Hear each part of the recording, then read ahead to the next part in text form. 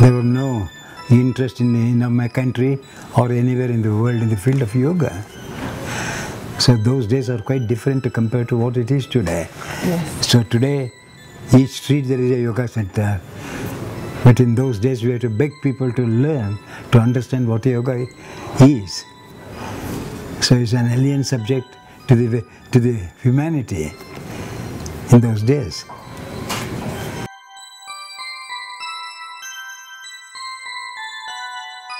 Well, I think if the genuine students maintain the quality of the practice, then I am sure uh, this subject has a bright light, bright future.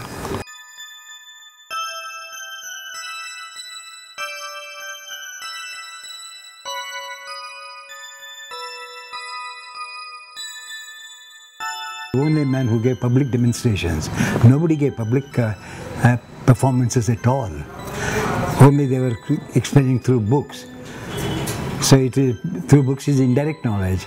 So I thought, let me educate them directly.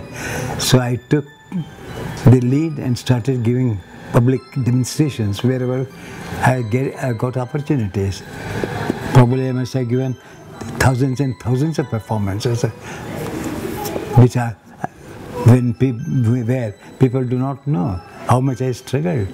And then I started working in such a way how to bring ele- elegance in the presentation, how to involve the mind with the somatic body. You should cooperate with the psyche. So it's a very difficult subject, but by the grace of God, I got it and I started expressing in public and in my teaching I brought that knowledge and it caught the public gradually. It took about 50 years for the public to know the value of yoga. Though I started in 1934, before that my guru was teaching. Even my guru had only few students. So that shows that how yoga has become popular. As you say, genuine practitioners with honesty, integrity and sincerity are needed today. That is where I am afraid that one may have to struggle again to re-establish the subject. As long as there is no um, involvement of mind and intelligence, then yoga is not yoga. It is just for uh, sensory pleasures. So one has to involve totally so that the multiple mind remains as a single mind. And that must be the aim of each individual when one practices.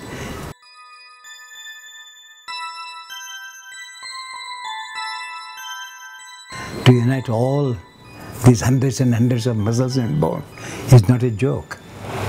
So it requires tremendous involvement, intellectual involvement. Then I'm sure that knowledge, perceptive knowledge becomes very sensitive because body is perceptible, mind is not perceptible, self is not perceptible. So body is the prop of the self. Therefore, body is the temple.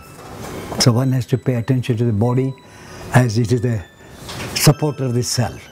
So one has to take care of. So there it comes the importance of asana and pranayama. So that the body is built up very well, so that the soul, self, rests in, the, in its abode.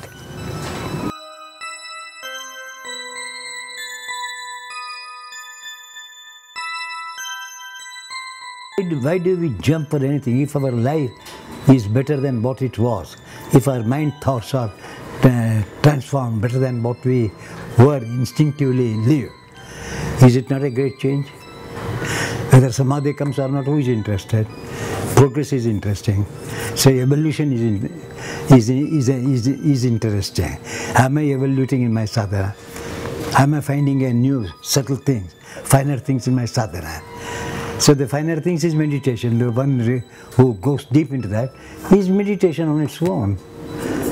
So that meditation is nothing but samadhi. Happy to say, sit lonely, close your eyes, and he's in samadhi. Samadhi is oneness, that's all. So active samadhi one, one cannot experience. So self exists everywhere. You have to feel the presence of this self, even in a corner of a nail. That is how one has to practice.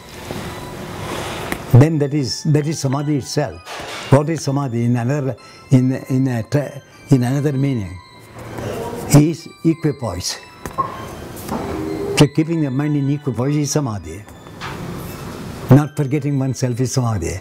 But actual translation says that one, uh, one who forgets himself is samadhi.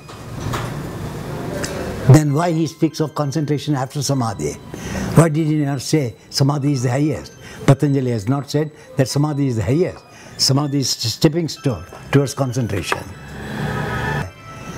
First he speaks of samadhi, then he speaks of concentration, then he speaks of awareness. So therefore, therefore, yoga covers everything. So one has to live. So a sleepy, forgetful state. Single, single mind is a universal mind. That is samadhi.